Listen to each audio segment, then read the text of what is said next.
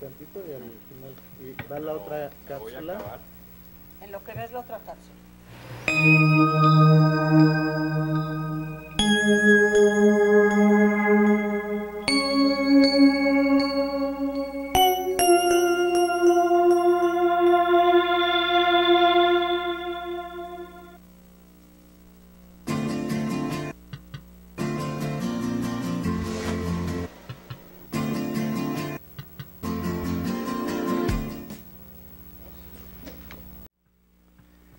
Bienvenidas, bienvenidos a En nuestra escuela Aprendemos a Convivir del Programa Nacional de Convivencia Escolar. Estamos transmitiendo desde las instalaciones de la DGEST a través de DGEST TV.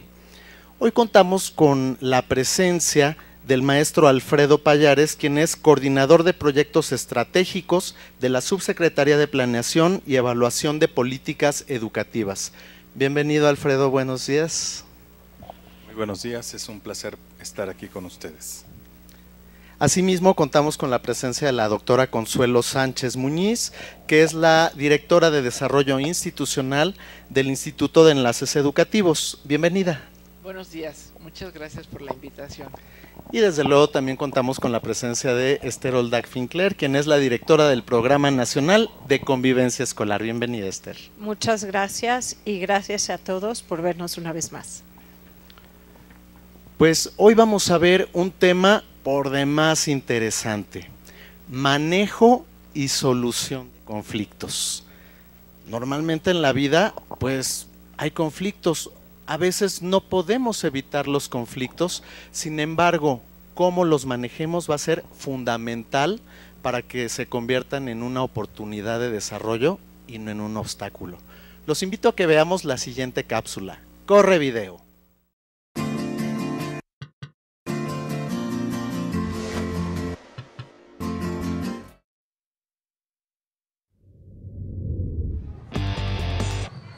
Oye, nosotras necesitamos ensayar nuestro baile. La presentación será el sábado. Nosotras tenemos partido el sábado también. Necesitamos practicar. Nosotras llegamos primero, así es que vamos a ensayar. Aquí está puesta la red, así que nosotras la vamos a usar. Pues de aquí no nos movemos. ¿Ah, sí? Pues nosotras tampoco. A ver quién puede más. Los conflictos son situaciones en las que los pensamientos, las necesidades, los intereses y los valores de dos o más personas se contraponen.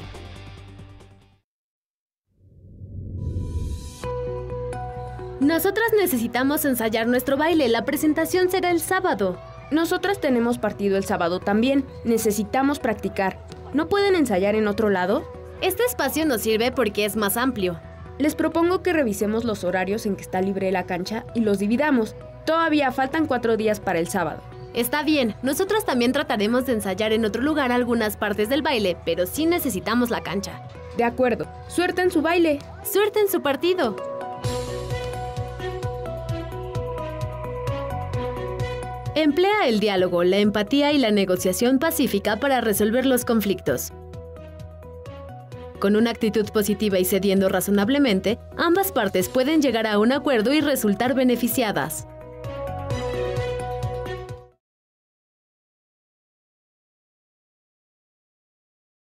Con el nuevo modelo educativo, los mexicanos estaremos listos para competir aquí y en todo el mundo. Secretaría de Educación Pública. Y bien hemos observado en la cápsula que ante el mismo conflicto las mismas personas pueden reaccionar de manera diferente, pueden manejar de distinta forma ese conflicto. ¿Qué me dirían ustedes? ¿Hay distintas formas de resolver un conflicto? Sí, hay muchas formas de resolver un conflicto y todas son válidas mientras no se utilice la violencia. Como hemos dicho en varias ocasiones, la violencia no se justifica y todas son válidas siempre y cuando encontremos una forma de negociar, de utilizar la empatía, de utilizar la asertividad y de no utilizar la violencia. Muchas veces nos damos permiso de golpear o de pegar o de gritar porque el otro empezó, ¿no? Pero sí es muy importante entender que aunque el otro empezó, eso no significa que me da derecho a mí a actuar en la misma manera, ¿no? Porque te conviertes en lo mismo. Entonces, sí es muy importante aprender distintas formas de manejar un conflicto desde la empatía, desde la negociación y siempre hay maneras de encontrar una solución, pero creo que aquí la clave del éxito, los expertos nos lo reforzarán, es ceder y negociar. Negociar. En esto de la negociación hay como tres maneras de negociar, ¿no? Que es eh, ambos pierden, ¿no? Por ejemplo, en esto de la cancha, pues entonces ninguno, para ningún equipo es la cancha y, ambos pierden. Uno gana y otro pierde. Se, le da el, eh, se queda con la cancha el más fuerte generalmente, ¿no? O el, la negociación que sería ganar, ganar. Ambos ceden parte, que fue como lo resolvieron, y ambos ganan parte. Me parece también que hay que tomar en cuenta que quizás, si bien un extremo es llegar a la violencia para resolver el conflicto, el otro es no hacer nada. la, pasividad. la ausencia de una solución por miedo a entrar en el conflicto. Y eso también te hunde en el conflicto. Entonces sí es importante resolverlo y resolverlo a través de estos mecanismos de negociación que están a nuestro alcance. Así es, hay tres formas, retomando un poquito eh, lo que dice Alfredo, tres formas de solucionar un conflicto, la pasiva, la agresiva y la asertiva.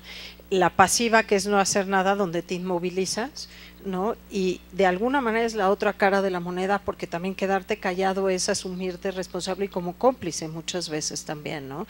La agresiva, en todas sus formas, y la asertiva, que es decir lo que sientes, porque no se trata de callarte jamás, sino la forma en que decimos las cosas, que siempre hará la diferencia cuando lo decimos tranquilamente, sin gritar, sin golpear.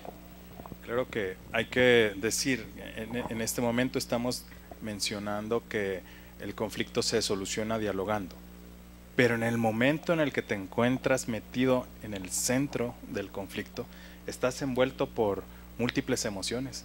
Te sientes enojado, triste. Entonces hay que considerar que, la mayoría de los conflictos, si no es que todos, van a, van a ser así. Y tienes que identificar, conociéndote, por qué emoción estás siendo dominado para entonces sí llegar a la solución del conflicto que es el diálogo. Generalmente estamos enojados. ¿Qué te enoja? ¿Cómo te enojas? ¿Qué sientes cuando te enojas? Nunca resuelvas un conflicto estando enojado. Así es, y, justamente este enojo, pues es el que muchas veces nos puede llevar a la violencia. ¿no? ¿Por qué no es válido resolver a través de la violencia? O sí, o, puede ser válido, podría ser válido. Nunca es válido la violencia, jamás se justifica, se entiende quizá el enojo, pero no la forma de actuar. Y creo que lo que Alfredo está diciendo es muy importante. Eh, cuando estás muy enojado es muy difícil solucionar un conflicto en forma asertiva. Hay muchas cosas, hay muchas cápsulas, hay muchas estrategias que el programa da para solucionar un conflicto y entre ellas es la respiración, entre ellas es el momento, el, el saberte enojado y el decir, dame un espacio para pensarlo, para que se me baje el enojo y entonces lo discutimos porque jura que cuando estás muy enojado, como dices tú, no vas a poder dialogar, el poder respirar y ser consciente de tu ritmo cardíaco y poderte tranquilizar, el decir, dame unos minutos, el hablar de lo que sientes y decir, estoy muy enojado en este momento, dame mi espacio, no quiero hablar y retomarlo en otro momento donde estés más en control. ¿no? ¿Qué piensan ustedes de, de esto? Desde cuando luego, esto es lo que se conoce también como el manejo de las emociones. ¿No? Conocerse de que me estoy molesta, estoy enojada, si ahorita contesto voy a reaccionar de malas o voy a herir a la otra persona o puedo llegar hasta violencia más fuerte. Entonces, ¿qué es lo más conveniente en ese momento? Esperar. Puede ser desde contar hasta 10, como decían, o puede ser en otro momento cuando ya las aguas hayan apaciguado y uno esté ya más calmado y puede entrar más la razón y no solo la emoción con mucha simpatía un maestro mío en la escuela que lo mejor para que se te pase el enojo es un, buche de agua. como que un buche de agua? Y permítanme la analogía. Sí, le das un traguito a la botella y antes de pasarte lo cuentas. Uno, dos, tres. ¿Qué es esto mismo de hacer tiempo? Quizás también, además del tiempo, alejarte un momento de la situación del, contexto en el que se está produciendo el enojo. Si te estás quemando con el fuego, con la fogata, y quieres que pase ese calor, pues hay que hacerse un poco hacia atrás. Entonces, si el entorno, porque suele ser social, porque muchas veces el enojo está en el contexto de un aula donde todos los demás compañeros te están gritando, sí, sí, que le pegue, sí, sí, sí, mm, pelea, pelea, pelea. Entonces eso te va calentando y te va dejando sin salidas y lo importante es que se te pase el enojo, esperar estar más tranquilo para resolver el diálogo, pero también tomar en cuenta esa circunstancia en la que eso está sucediendo para tomar distancia, dejar que el tiempo pase y entonces con la cabeza más fría, el espíritu más sereno, acercarte a, a la persona eh, con quien tienes que resolver el conflicto. Y a nivel bioquímico esto tiene una fundamentación bien importante. Eh, cuando estás enojado y cuando te sientes amenazado, eh, entra en tu cerebro algo que se llama huida o lucha y te pones en este estado que, que viene de una parte del cerebro que se llama simpático y parasimpático, que no tiene nada de simpático en realidad, porque lo que hace es ponerte en este estado de batalla, ¿no? donde estás en guardia y en este momento, cuando estás como para defenderte de una amenaza o de un ataque real, se genera todo este, se desencadena la adrenalina, se desencadena toda una serie de mecanismos que te ponen a la defensiva y que no te permiten reaccionar adecuadamente porque eh, la adrenalina bloquea la atención y la capacidad de razonamiento. ¿no? Porque si entra un tigre y te va a comer, no piensas, ay, qué lindo tigre, me comerá porque ya te comió. Pero cuando es una amenaza percibida es lo mismo, entonces no piensas, actúas. Entonces tienes que esperar a que se te baje literal la adrenalina para que puedas entrar en este proceso de razonamiento y empieces a actuar en forma más racional. Así es, entonces digamos, pues realmente estamos sujetos en una situación de conflicto a todas estas reacciones eh, bioquímicas, nuestro cuerpo está ahí en todo momento. Los invito a que veamos la siguiente cápsula. Corre video.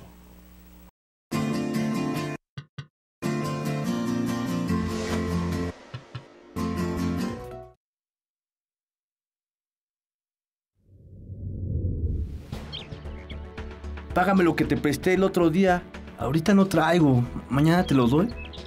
¿E-, ¿Está bien? No, no está bien. O me lo pagas ahorita mismo o ya verás de lo que soy capaz. Mm, ya, está bien, déjame ver cómo le hago para pagártelo hoy. Las amenazas no ayudan a resolver los conflictos. Págame lo que te presté el otro día. Ahorita no traigo. Mañana te lo doy, ¿está bien? No, no está bien. O me lo pagas ahorita mismo o ya verás de lo que soy capaz. No es necesaria la amenaza, ¿o sí? Entiendo tu enojo, pero de esa forma no se resuelven los conflictos. Te doy mi palabra de que mañana te lo pago. Ahora cálmate.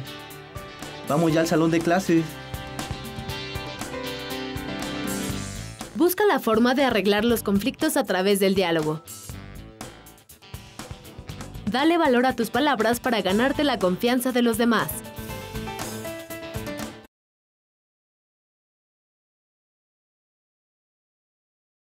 Con el nuevo modelo educativo, los mexicanos estaremos listos para competir aquí y en todo el mundo. Secretaría de Educación Pública. Visto nuevamente en esta cápsula ante la misma situación, diferentes formas de reaccionar, diferentes formas de, manejarse ahí. Entonces, eh, ¿qué recomendaciones darían ustedes para manejar un conflicto adecuadamente antes de que se salga de control? Yo creo que hay pasos eh, que podemos tener muy claros de qué hacer ante el manejo del conflicto. Eh, primero, saber qué es la emoción que sientes, que es el primer paso, qué estoy sintiendo sabiendo cómo te sientes, puedes resolver mejor el conflicto. Si te sientes enojado es que tienes un conflicto. Y no importa que los demás piensen que no es un conflicto. Si tú te sientes molesto, quiere decir que tienes un conflicto. El segundo que ayuda mucho es algo que se llama para, piensa y actúa. Para un minuto, entiende qué sientes eh, imagina dos diferentes escenarios de manejo de conflicto, uno con violencia, que es lo que seguramente te gustaría, y otro en otro escenario, y piensa las consecuencias de cada uno de ellos, que te toma fracciones de segundo en tu mente hacer esto, y entonces actúa sabiendo las consecuencias de lo que estás haciendo, porque muchas veces lo actuamos, pero no medimos las consecuencias. Y si no te funciona, haz un plan B, que siempre hay un plan B. Así es. Entonces, ¿qué recomendaciones nos, nos darían ustedes? Ya veíamos un poquito que nos comentaban, realmente pues es detenerme, ¿no? Porque el cuerpo se echa a andar. ¿Cómo detenemos este cuerpo que se está enojando, que está violentado, que, que quiere... ¿Cómo lo paramos? ¿Cómo lo frenamos? ¿Cómo, La cómo lo única manejamos? manera de, de frenar al cuerpo cuando está enojado o tiene una emoción negativa es a través de un acto de conciencia, es el darse cuenta. Por eso es tan importante la educación de, los, de las emociones y los sentimientos, el darse cuenta. Yo también les diría a los jóvenes que nunca se dejen amenazar. Una persona que amenaza muestra una gran inseguridad porque es una manera de querer obtener lo que quiere a fuerza de una amenaza. Mejor hay que entrar en un diálogo para poder resolver bien el conflicto.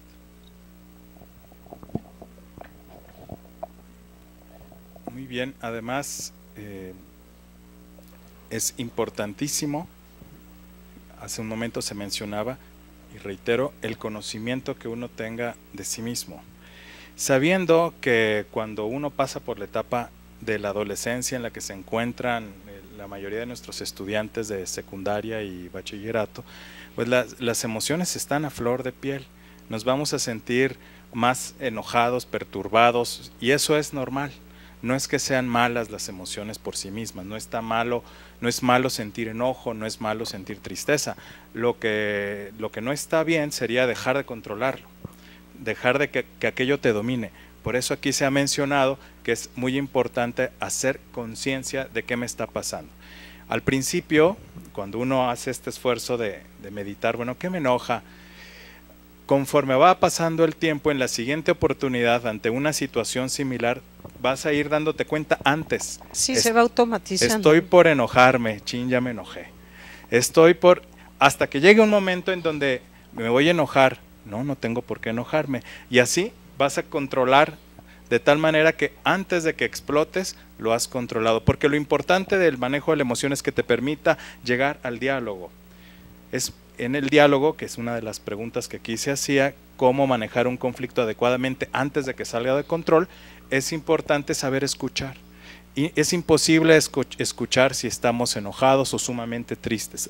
Hay que tener el corazón y, y los oídos abiertos, bien, bien abiertos a la escucha. Por eso son dos, dos orejas y una sola boca, porque antes de hablar hay que saber escuchar. Y yo creo que una, una estrategia que, que funciona muy bien es no nada más el detenerte, el escuchar y el hablar, sino el que eh, los adolescentes entiendan que todas las emociones son válidas, no hay emociones ni malas ni buenas, es el cómo lo expresas y el cómo eh, lo ejecutas. Si podemos subirle la voz justamente para eso, porque es muy fácil decir, escucha tu emoción, pero una manera es escuchar esa vocecita que tenemos dentro de nosotros, porque lo que dices es lo que antecede el enojo. Siempre que dices, es que no es justo, es que no puede ser, lo voy a matar, te vas a sentir muy enojado. Si puedes escuchar esa voz, que es la forma de aprender a controlar las emociones, cambiarla y redireccionarla por un, bueno, no es para tanto, bueno, no es el fin del mundo, o bueno, me enojó mucho, pero no vale la pena, cambia automáticamente la emoción, porque no es lo que te pasa lo que te hace sentir enojado, sino lo que piensas de lo que te pasa. Entonces hay que aprender a escuchar lo que pensamos para poderlo redireccionar y controlar. Así es, entonces, digamos, podemos aprender todo esto que ustedes nos han mencionado. Es un entrenamiento, como nos mencionaba el maestro Payares también, es detenerme a pensar, darme ese tiempo. Y eso se puede practicar. Y todas estas estrategias, Toño, vienen en el sitio, en todas estas cápsulas para adolescentes que las pueden ver, las pueden compartir con su familia y en todos los materiales del programa vienen estrategias para controlar y manejar las emociones. Así es, recuerden que todos nuestros materiales están en el portal Escuela Libre de Acoso, www.gov.mx, diagonal Escuela Libre de Acoso. Ahí pueden consultar todos los materiales del Programa Nacional de Convivencia Escolar. Y ahora que nos han hablado de todos estos conflictos, hay veces que pues realmente nos podemos ver rebasados. ¿Qué hacemos ahí? Existe esta estrategia para resolver los conflictos, la mediación. La mediación, ¿qué es la mediación? ¿Qué me dirían ustedes? ¿Qué es la mediación? La mediación es el que una tercera persona, cuando dos personas no se ponen de acuerdo, pueda facilitar el que puedan solucionar los conflictos cuando hay dos intereses que no se ponen de acuerdo, cuando no puedes negociar, cuando ninguno de los dos cede, entra una tercera persona a ayudarlos a manejar el conflicto. Eso es la, mediación. ¿Y cuáles consideran que serían las características más importantes que, que deba tener un mediador? Yo creo que un mediador debe de tener la capacidad de, eh, de escucharlos primero para poder resolver el conflicto, de lograr saber cuáles son las ansiedades y las ansiedades de, uno, de cada uno de los, de los dos que están en conflicto o del grupo que está en conflicto y después eh, ser capaz de poder dar soluciones para que ese conflicto se resuelva. Hace un momento que la doctora hablaba de saber escuchar, qué importante es en ese proceso de bajarle tres rayitas al enojo que traemos, tener un alguien con quien compartir lo que me está pasando.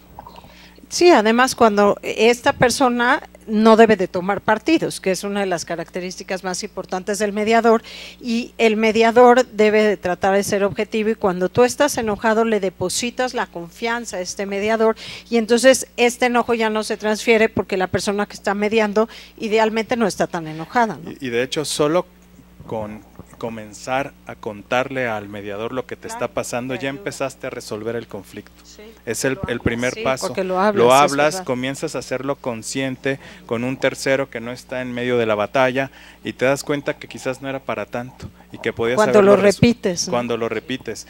Y el mediador en este sentido no solamente podría ser el adulto, sino cabe también un compañero de clase, a quien le tengas confianza, con quien platiques lo que te está pasando, pero no que sea un eh, eh, hacedor de fuego, ¿no? No va a ser mediador aquel que quiere que el conflicto se dé.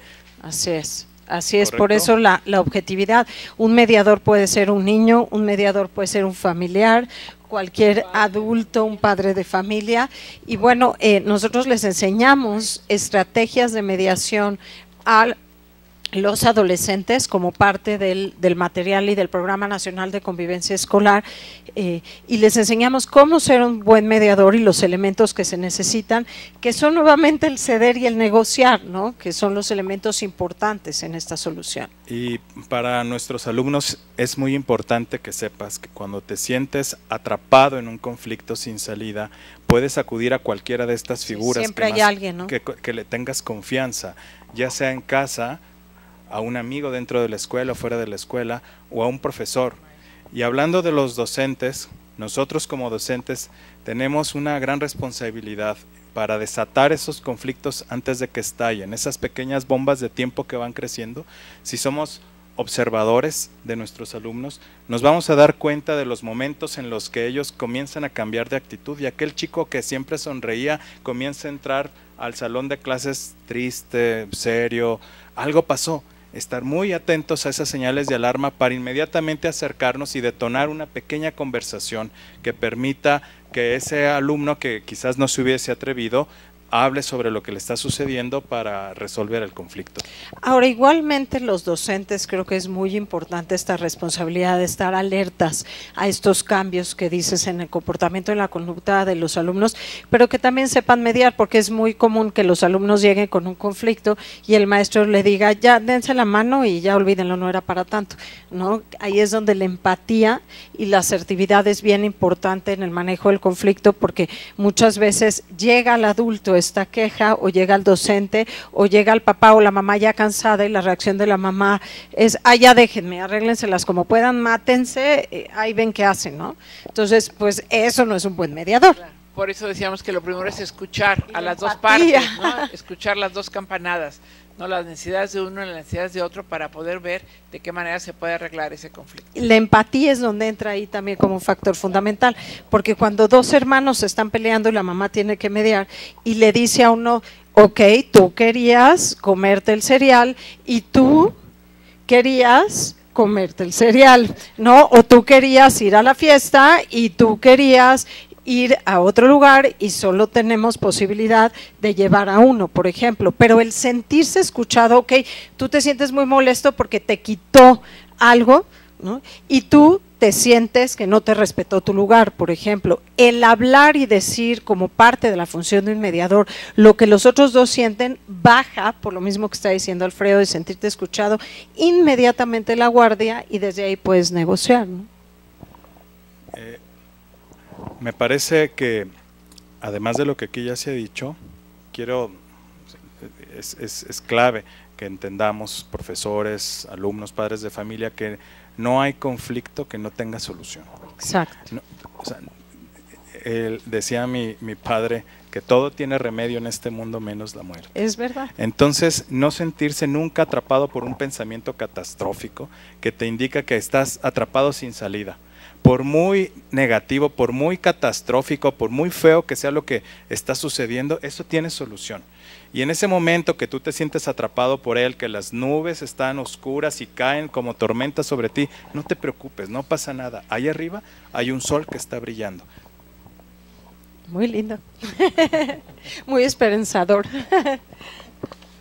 Y bien, si yo, si vienen dos compañeros míos, supongamos que yo fuera en la secundaria y fuera un adolescente, y me dicen, oye, a ver, ayúdanos a mediar en este conflicto, ¿qué tendría que hacer? lo primero es dar empatía.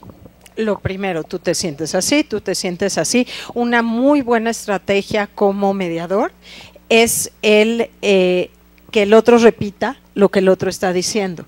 Es decir, es que yo siento que tú eh, no me respetaste y me insultaste. Y el otro tiene que decir, es que tú sientes que no me respetaste y que me insultaste. Y a través de escuchar y de saberse escuchado, resulta una muy buena estrategia de mediación y de ahí proponer entre ambas partes que, que los afectados propongan una solución con ayuda del mediador donde ambos queden satisfechos. Pues muy bien, hemos visto aquí distintas... Eh, ideas, distintas estrategias para manejar los conflictos. No las olviden, detenerse, parar, controlar esas emociones primero. Y quizás valga la pena además eh, señalar lo siguiente, cuando como directivos y profesores de un centro escolar, llevamos ya muchos ciclos escolares trabajando con una comunidad escolar, uno va aprendiendo a darse cuenta cuáles son esos momentos escolares en donde puede subir el nivel de tensión o de estrés. Yo recuerdo eh, en mis tiempos de profesor frente a grupo en secundaria que un viernes por la, por la tarde, a punto de salir de vacaciones, en época de calor, tienes que planear diferente tu clase. Y, así de, tal manera que, si en los consejos técnicos escolares pues, se estudia un poco cuál es el tipo de conflictos que está suscitándose, en qué momentos del, o temporadas del año se están dando, se pueden eh, establecer estrategias preventivas, es a donde voy. Así es, pues muchísimas gracias Alfredo, Consuelo, muchísimas gracias también. Muchas gracias, muchas gracias por la invitación, muy amables. Esther, muchas gracias por estar aquí. Y recuerden que todos nuestros materiales, los materiales del Programa Nacional de Convivencia Escolar, están en nuestro portal Escuela Libre de Acoso, www.gov.mx, diagonal Escuela Libre de Acoso. Nos vemos a la próxima y recuerda que Dejes TV, te, ve aprendiendo.